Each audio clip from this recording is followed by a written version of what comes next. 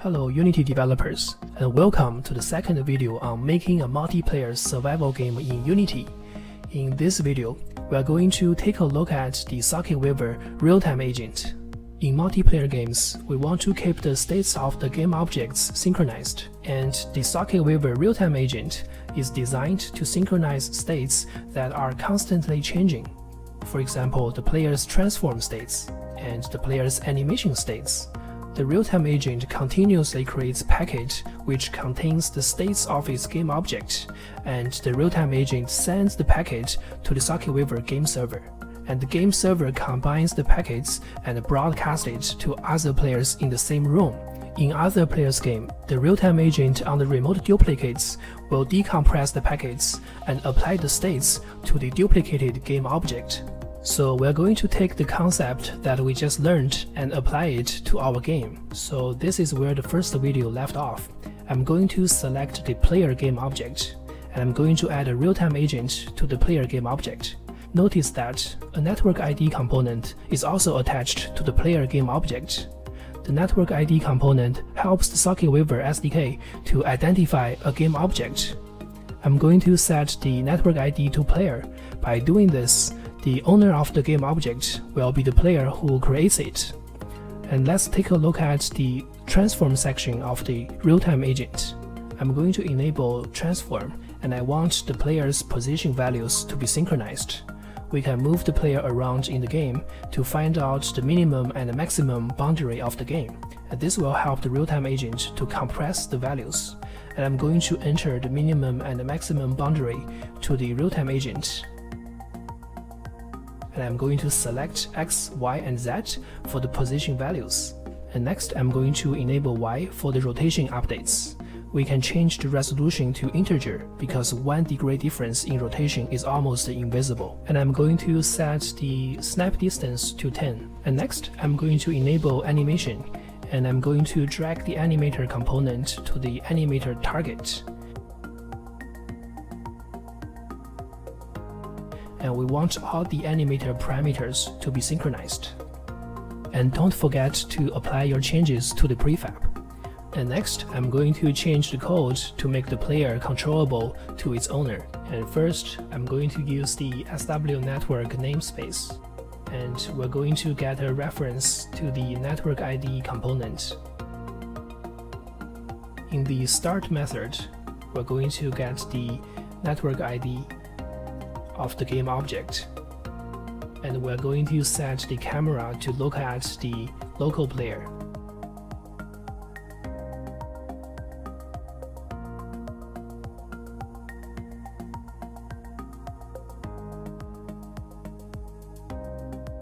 And in the update method, if the player is not the owner of the game object, we're just going to return.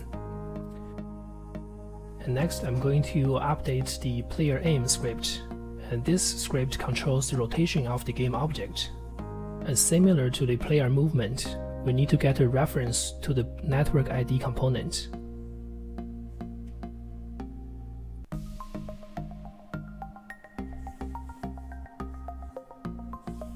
And in the update method, if the player is not the owner of the game object, we're just going to return.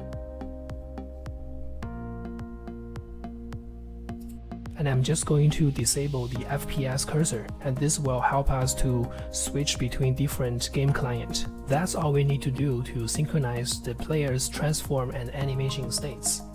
Remember we have to use the SocketWeaver scene spawner to instantiate game objects. I'm going to add a new empty game object and I will name it scene spawner and I will attach a scene spawner component to it and we can drag our player prefab into the scene spawner. And next, I'm going to make two spawn points. So the scene spawner knows where to instantiate our player game objects. I'm just going to place the spawn point at the center of the game, and we can drag and drop the spawn points to the scene spawner.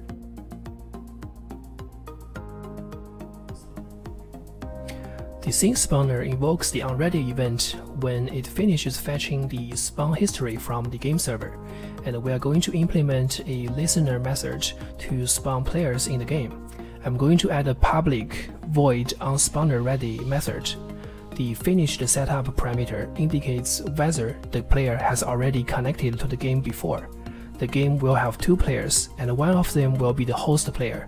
We can use the isHost property to differentiate the players and assign different spawn points to them.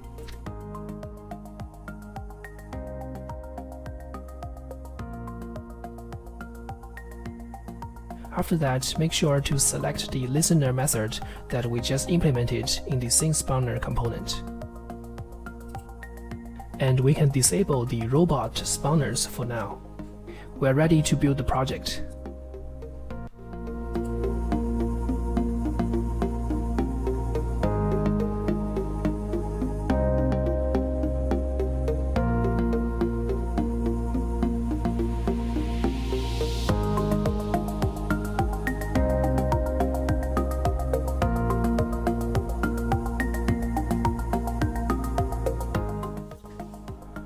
So I think it's working.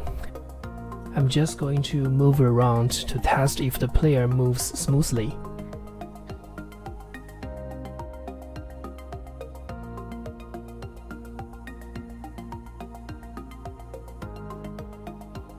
Awesome. It feels really good to see the player's movements are synchronized. I hope that you have enjoyed today's video. In the next video, we're going to talk about the synced properties. Synced properties are used to synchronize states that are updated infrequently, for example the player's weapon. So thanks for watching, I will see you in the next one.